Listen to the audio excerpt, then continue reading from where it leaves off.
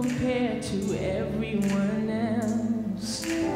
What about this flaw, too big, too small? Can I exchange and try to make up for what I fell short? I let sin slip away, but when I look in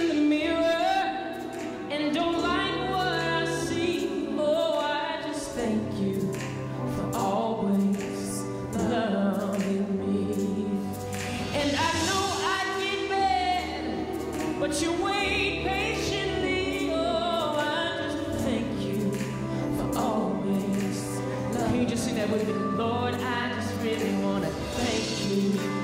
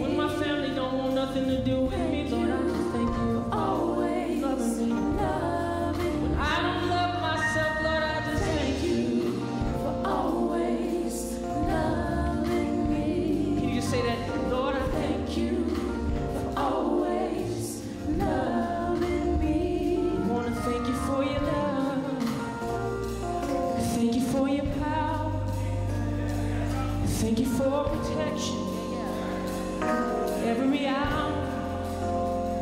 Lord, I thank you for your love.